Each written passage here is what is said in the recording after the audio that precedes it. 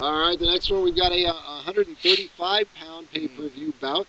Uh, let's see, it's uh, Scott Young Guns Jorgensen. He's one of my favorites. Uh, I like him a lot. Hey, wait, quick uh, little ironic thing because both Chris and I like him, but I know you have been a huge fan of his for a while. Mhm. But remember, they used to bury him on WEC I cards. know. Now think about that. They buried him on WEC cards, makes it the UFC, you know, takes over, and now he's actually getting on pay per view Yeah. UFC cards. When he they used to, I mean, and he's always performed. I, you know, to me, he he uh, reminds me a lot of uh, of the Carpenter, Clay Guida. Yeah.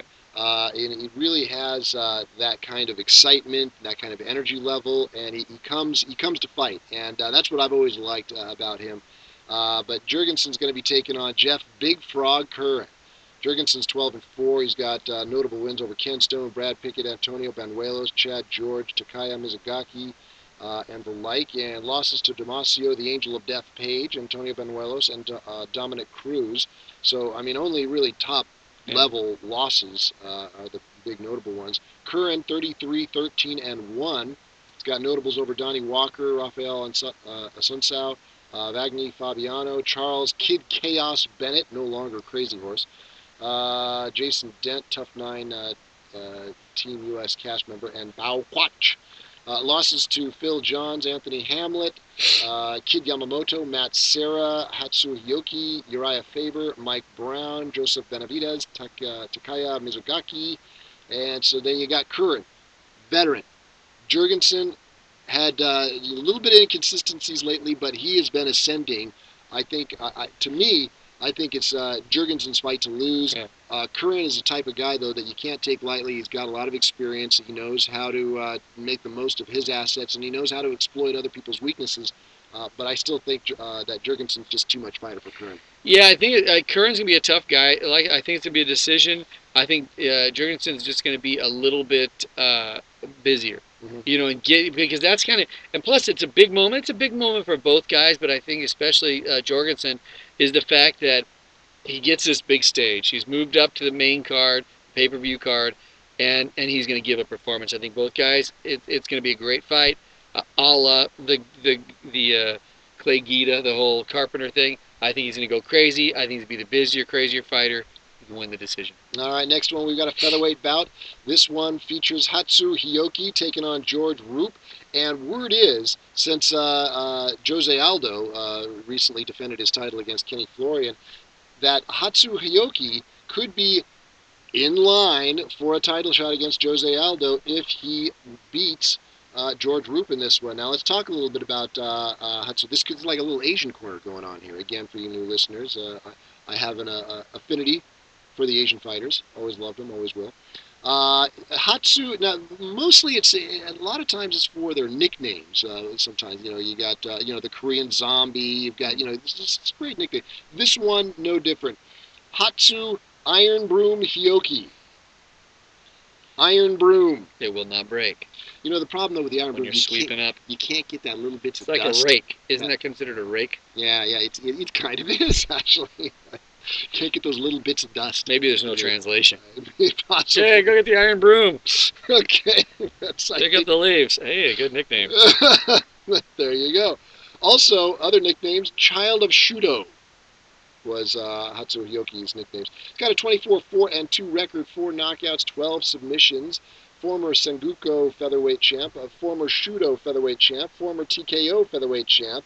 Uh, Hioki went up to Canada to train with uh, TriStar Gym under coach uh, Firas uh, Zahabi, G- uh, GSP. Kenny Sounds like Florian. Roop is the sacrificial lamb here. Possibly. Uh, and uh, George Roop is born in Minneapolis. his his turn-ons are hot fudge Sundays and long walks on the beach. Yeah, huh, let's weigh this one, Dana. Thanks. George Roop has a less impressive 12-7 and 1 record. I think that was my locker combination in high school. Uh, three knockouts, four submissions. He's got wins over Josh Grispi, Chan Sung, the Korean uh, zombie Jung, Dave Kaplan. Notable losses to Shane Nelson, George Soteropoulos, Ed Wineland, and Mark Hominick. So Roop versus I the have to give. Broom. No, I think the Iron Broom is going to sweep away. um, uh, but my thing about the uh, the Roop is, remember him on the Ultimate Fighter? Yes. He was like the last pick type guy. You know, he was he was a doormat. He was he didn't do very well on the show. Yet that guy has stuck around. I mean, I think of, of all, all the fighters, especially in his season, but it, I mean, almost all the fighters, you know, that have gone through. And maybe I mean, Koscheck, I think is is kind of evolved quite a bit. But I think Roop really has done a lot just to maintain his career both in the WEC and now in the UFC. So give him credit for that.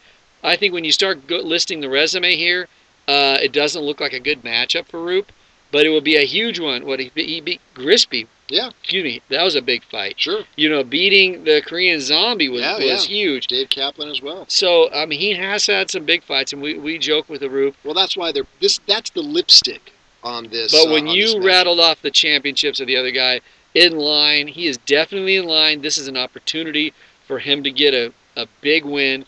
Uh, you know, Love Roop, I'm saying knockout second round I, I think by it- the Iron Broom. well, the Iron Broom is more known for the submissions. Only four Oh. knockouts in his 24 wins. So you stick might with not that. be a good pick. no, no, it's said it's in it's in stone. Uh, but I, I think submission there definitely. Um, next one we've got Dennis the Menace Siver taking on. Uh, Donald Cowboy Cerrone. This one's going to be a great one. I- I'm surprised that one's not on the and on this one is on the Spike TV bout. The, the the opening for the pay per view is Hioki versus Roop, but the Siver versus Cerrone is on the Spike TV, so uh, you can enjoy that one. But uh, Siver, of course, uh, in line for uh, lightweight title shot. This one obviously is a big one for him. Got to get past Cerrone, who's uh, been kicking up some dust there, as the Cowboys tend to do. Cerrone is 16 and three. He's got notable wins over Charles Oliveira. Uh, Paul Kelly, Chris Horodecki, uh, Jamie Varner, uh, Razor Rob McCullough, and Nate Moore, among others. Losses to Jamie Varner and Ben Henderson twice.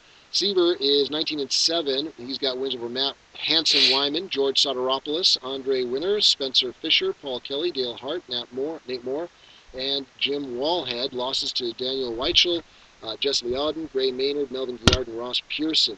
This one, man, I don't tell you, you, two. One is short and stocky and Siver. Uh, the other, is Cerrone, tall lean guy. I mean, matchups. You know, you, you think that Cerrone's got the reach advantage. He's got uh, some advantages there, but Siver is like a pit bull. What What do you like in this one? Uh, I definitely, I, I think Siver's good. It's amazing once you rattle off all of the fighters that he's beaten. He's beaten some good guys. Um, Which guy I'm- are you talking about? Siver. I'm just saying, but you know, because his fighting, he seems like a rock'em sock'em robot guy. You know, he's pretty physically, you know, built as far as you know, muscular, which is you know kind of rare. Stand-up guy wants to throw the bomb. He seems to really throw a lot in his punches. Uh, I think that uh, Cerrone is just a much more well-rounded guy. Uh, my my biggest question right now is how Cerrone's going to beat him. I do think Cerrone's going to win this fight. I think he's he's he's more of a dynamic striker. You see, you know, he puts combinations together. Siver, at least in my mind, is more of a one-punch guy. He likes to throw big bombs.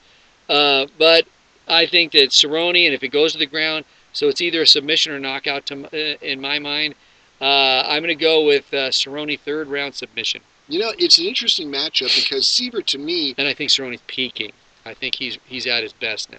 You know, he he's see. I think Siver is is at his best, and, and I think his potential potential is uh, boundless. I think he does line himself up nicely for a lightweight title shot here very soon. Uh, this one, I do think it's just a matter of the matchup uh, being at what it is. Siver, though, yeah, he's strong. You can consider him to be a one-dimensional, but sometimes certain matchups just don't fare well for guys. Like, um, you know, Clay the Carpenter we're talking about. He's not uh, well-rounded. He's he's you know he's one-dimensional. He's he's got a the lot of spaz, energy dude. he's got the spaz factor. But some guys just can't figure that out, you know. And so, and I think that uh, Siver is going to be that to Cerrone. I think Cerrone's going to have a hard time figuring out how to deal with that that strength, that power, and and I think he basically bullies Cerrone around and uh, takes the decision. So, it's my thought.